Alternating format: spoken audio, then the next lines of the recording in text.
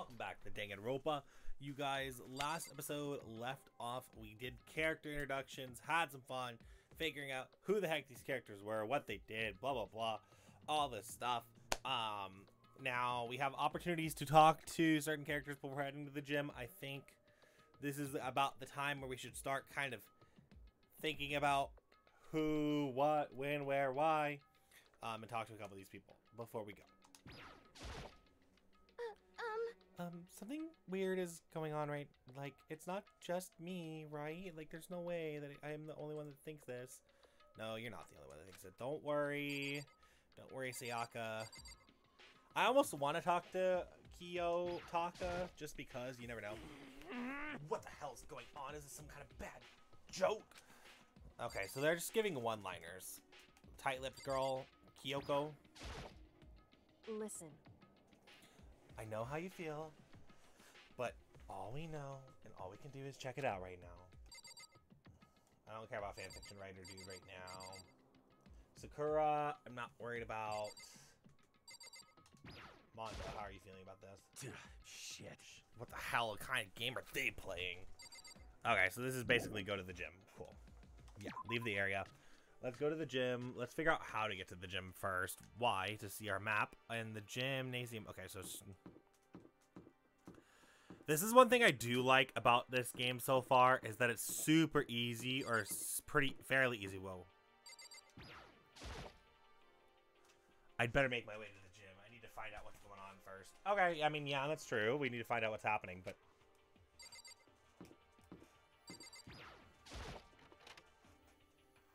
What is going on?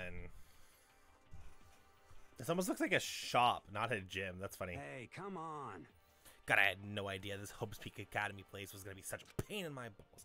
It really ain't that much different from the time I spent in Juvie. Hell, this place is even worse. Um, And and why isn't there anyone here? Walking through the halls, didn't see a single person. this is bad. This isn't this like seriously not good. The, they're just trying to spook us. They're all in their mental plates down later. I'm sure of it. All we can do is hope for the best and prepare for the worst. Nothing ventured, nothing gained. Shit. The hell I ain't scared of nothing. Let's get this over Hey, with. damn it. Hey, whoever. Oh, here's whoever called it. What I don't even. I didn't even read it fast enough. Mondo, stop. Well then. I too shall go. Hey, wait! Don't leave me alone. Okay, time for some tutorial. More tutorial action. Press the Y button to observe the room that you're in. Observing will display what people, objects you can interact with. Sorry for the late notice.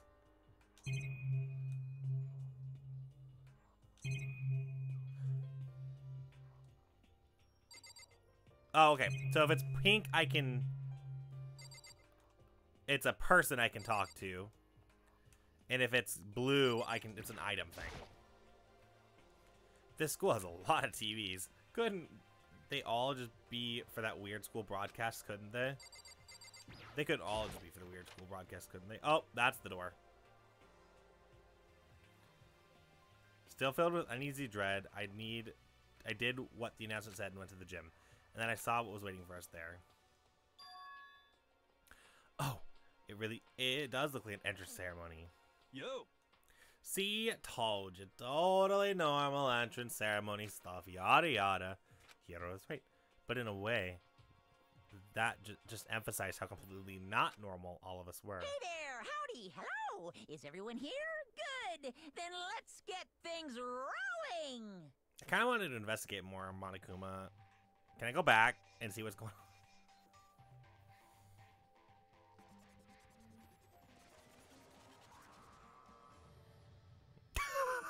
He is so tiny. Huh? Uh, teddy bear? I'm not a teddy bear. I am Monokuma! and I am this school's headmaster. It was the strangest thing I'd ever seen. Right before my eyes, it was. What I was seeing was utterly incomprehensible. To meet you all.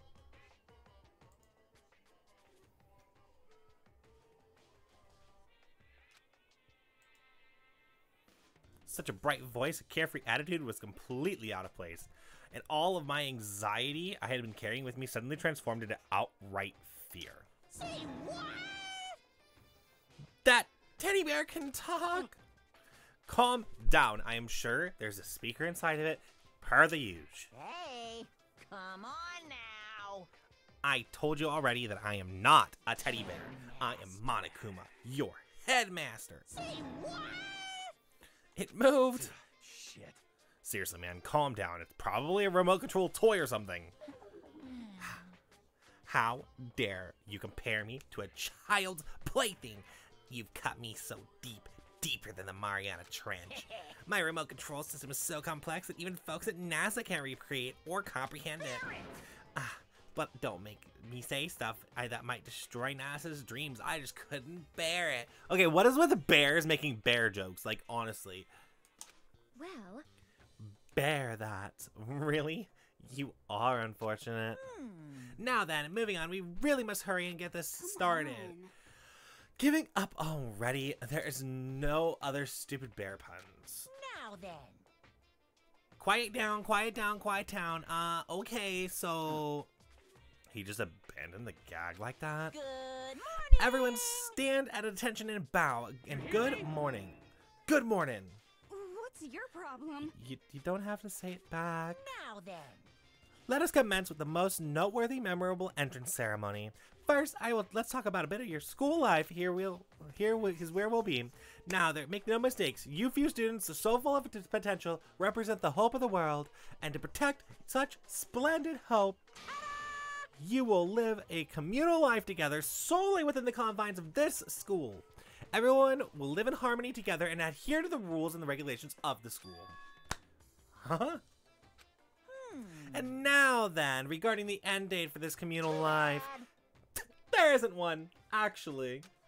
In other words, you'll be here until the day you die. Such a school life you've been assigned. Whoa, whoa, whoa, what did he just say? Until the day we die. Yep. Oh, but fear not. I've been quite. I'm a. qu- We have a quite an abundant budget, so you won't lack all the common conveniences. Hold on a second. That's the least of our worries right now. Like, what the heck? Yeah, what the hell are you saying? I have to live here forever? You're screwing with us, right? I am not screwing with you. I'm no liar. Of that, you can be 100% sure. Huh? Ah, and just for your information, you're completely cut off from the outside world.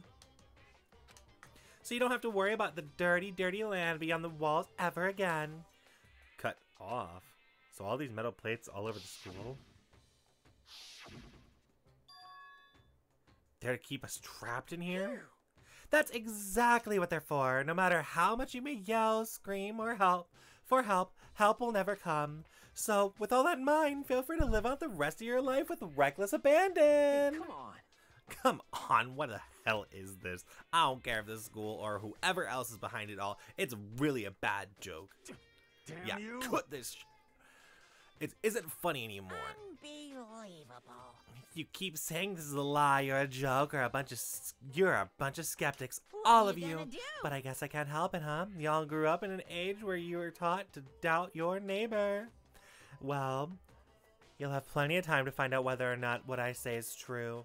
And when that time comes, you'll be able to be on your own eyeballs that I speak with undeniable truth. Most unfortunate. Having to live here forever would be quite the problem.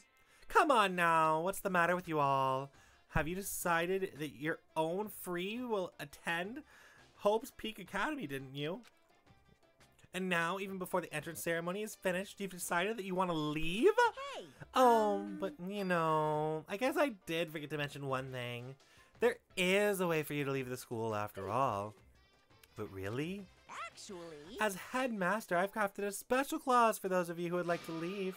I call it the graduation clause. Now then. Now, let me tell you a little fun about a little or this fun little rule. As I mentioned, in order to maintain the environment of harmony, we will rely on the communal lifestyle. And then, so if someone were to disrupt that harmony, they and they alone would be allowed to leave the school. That, my students, is the graduation clause. What? What do you even mean by disrupt the harmony? Well, you know, if one person were to murder another. Murder? Yes, indeed. Stabbing, strangling, bludgeoning, crushing, hackling, drowning, igniting. How you do it doesn't even matter. You just must kill someone if you want to leave. It's, it's as simple as that. the rest of you, rest is up to you. Give it all to archive the best outcome in the worst way possible. A chill shot down my spine. You must kill someone if you want to leave. As soon as I heard those words, my blood went cold. I bet that got your brain juices flowing. Beats the heck out of a human catching a salmon, huh? It's like I said before, you guys are the hope of the world. But you know, taking that hope and seeing it get murdered creates darkness and a shadow of despair. Extreme! And I just find that so exciting! What the hell? What the hell are you talking about? To kill each other? It's it's to kill each other is to kill each other. I'm sure there's a dictionary here somewhere if you need it. What are you saying? We know what it means. That's not the problem. Why do we have to even kill each other in the first place? Yeah, stop blabbering with this nonsense. Not just let us go home already. Blabbering. Oh boy. Blabbering, blabbering. What do you mean blabbering? Stop blabbering on about blabbering on. How strange. You guys just don't get it, do you? Let us go, let us go. You keep on saying the same thing over and over and over and over. Listen, from this moment on, the school is your home, your life, and your world. Got it? And you can kill as much as you want to kill, so go ahead and go on a kill, kill, killing spree. Alright, come on. How long are you going to keep this up for? Eh, You know? you got us, okay? You scared the hell out of us, and you know, you can go ahead and reveal the trick now. It's fine. Reveal the trick? I'm right. Yeah, right? because I mean, you know, this is some kind of trick and all, right? So, uh, like, Shit. dude, get out of my way. Shoving Hiro aside, Mondo places himself in front of Monokuma, his voice rumbling like thunder. You're fucking dead. oh my god. Okay, Mondo. What's the matter? Joke? Oh, what do you mean? Uh, like your hair? son of a bitch. wow! Mondo roared out with a sudden boom, and that sound of the floodboards as he kicked off and launched himself into the air. He flew at Monokuma as fast as a bullet. He locked his on his target. Gotcha, you little piece of shit. I don't know if you're a toy or a stuffed animal or whatever the hell. Either way, I'm gonna rip you to fucking shreds. What? Violence against the headmaster is in violation of school regulations. But I thought you could kill anybody, Monokuma. Doesn't that mean you? Shut the fuck up. Let me out of here, I swear to Christ.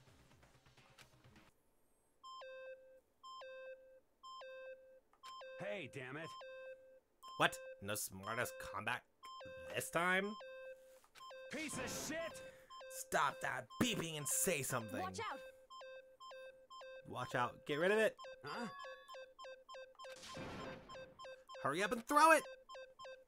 I don't know if her ferocity sent him into silence or what, but without words, he did what he was told. He threw Monokuma, and as soon as he did,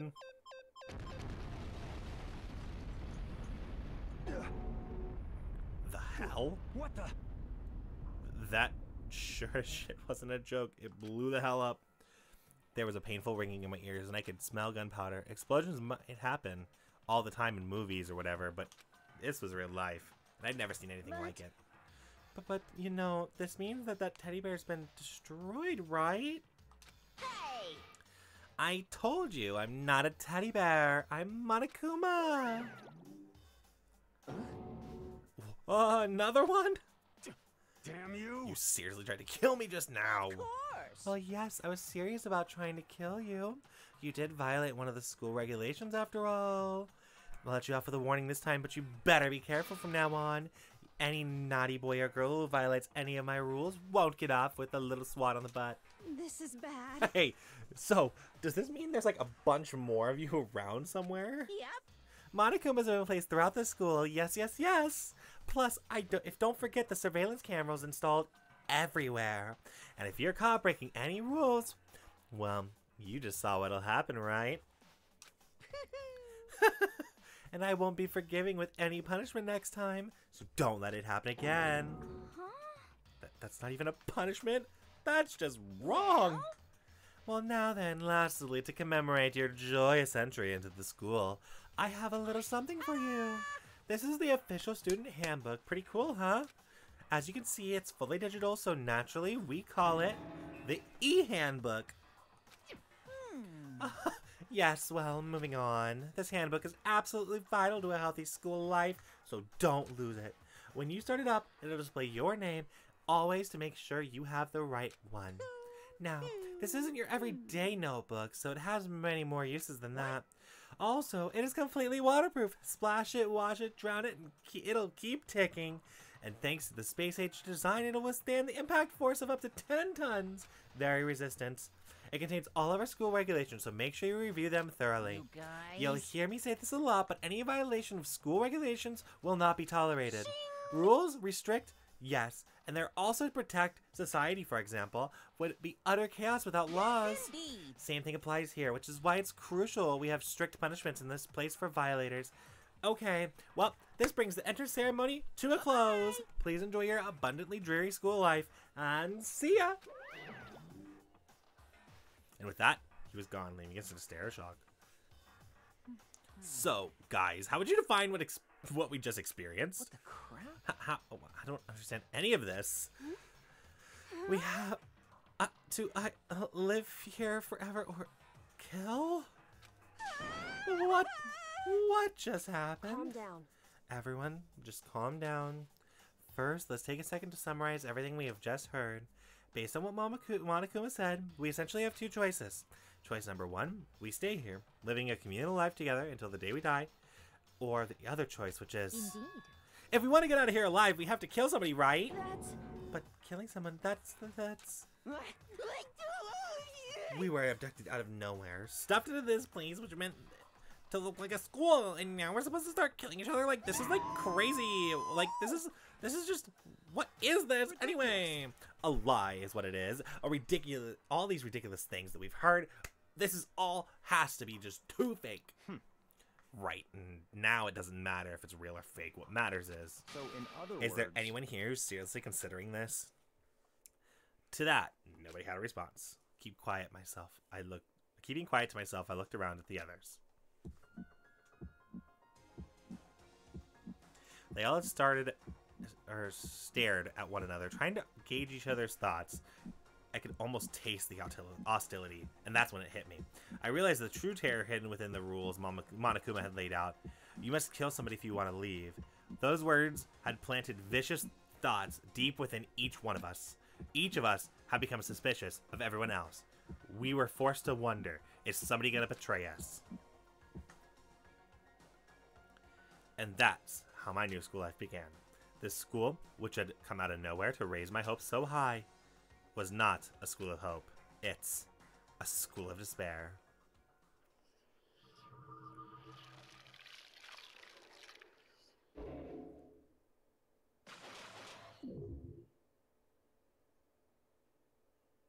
Surviving Students 15. Oh, to be continued. Well, this was a shorter episode than the last episode, but I'm sure you guys will enjoy. Oh, here, have the intro. Um, while I kind of talk over the prologue. This is the intro, and so oh, it's gonna it's gonna let me know that I can kick to chapter one now. Ooh, okay. So basically, I talked to Shiso a little bit um, about my thoughts currently between episodes. I really like Sayaka and Leon. That it's funny that they're on the same page. Um, and I'm hoping that those two stick together and stay with us. I think that Hiro will is sketchy at the current moment, just because he's so out there and like so worrisome. Monokuma, I like. Toko is scary. Mondo is fine. Um, it's gonna be a very interesting situation. So I'm really hoping that there's no other things going on. I don't think there will be, so I will just go ahead and hit the start so that we don't like run into any cutscenes. You got the school crest as a present. It just got to run through run through of all the characters. You want to save data, but yeah, in the next episode, we will be taking care of parts of chapter one, not the whole thing, because this seems like a like two episodes per chapter thing. That would be kind of cool. Uh, I think that would work out very well for us. But yeah, see you guys next.